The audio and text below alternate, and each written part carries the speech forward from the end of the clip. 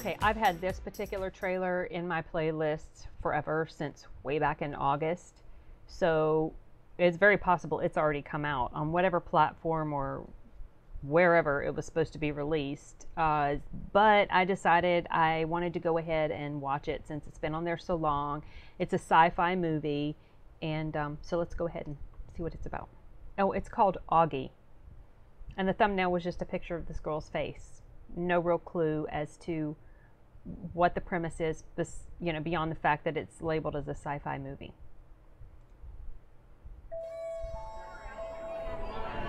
Felix, without you, this company would not be what it is today. Really gonna miss you around here. We got you a little parting gift. To Felix? Welcome to Auggie. Auggie determines your needs by reading your subconscious brain signals. Simply put the glasses on and say hello. Hey. I wasn't expecting this. Nice to meet you. Likewise. Life's short. Don't waste it. I love you. Yeah, I love you too. What about Anne? Guess you're retired. Life's over. Now you might as well die. All right. Hey, those are Auggie glasses. It projects what your subconscious wants to see. When I'm with you, I see things differently.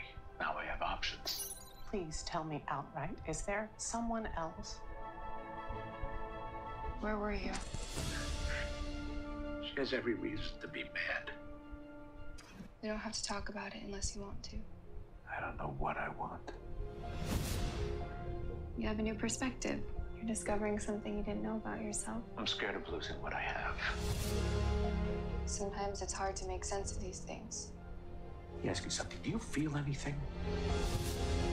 This thing, I'm sure that it listens and it is agreeable, but it is not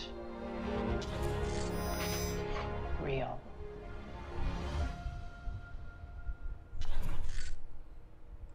Hmm. Okay, so so it's it's it's kind of more like a character drama with sci-fi elements in it. You know that this AI that he's interacting with in his in his in the glasses. Um, it kind of reminds me of you know the whole you know infestation of things like Siri and and um, Cortana and the you know that sort of kind of invasive type presence of this sort of AI thing that's like listening and trying to guess ahead what what you're maybe what you're searching for or whatever. Um, not obviously not to that extreme as what's shown in this film, but when I'm watching this, I'm reminded of this book I worked on in the course of my job, and it's there are several books. In fact, I'm actually working on book number five right now, uh, as I take a break from that work to film this reaction. But the first book was called The Feedback Loop.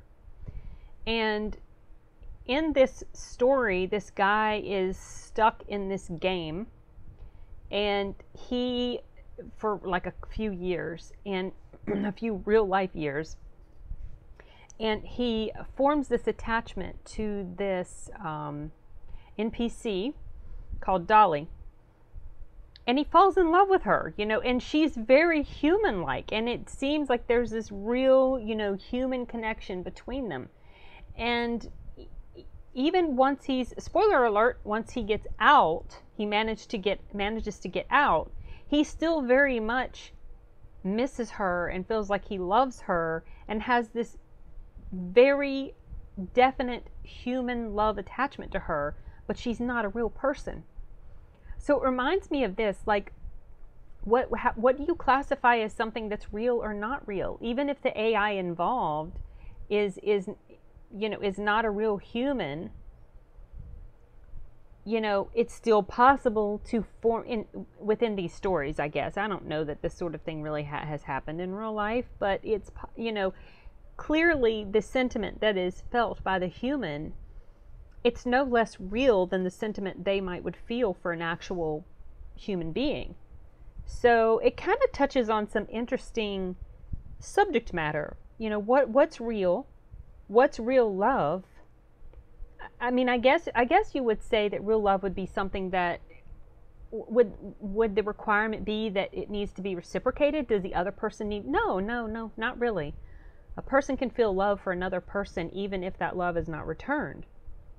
So it's just kind of interesting thinking about these things. It's like you're like, man, that's just so weird. But at the same time, you can sort of understand, or I can, just based on the work that I do, um, because a lot of it has to do with lit RPG, uh, you know, books and things like that, where people are, are, you know, going into game worlds and the attachments that they form with characters who are not real people.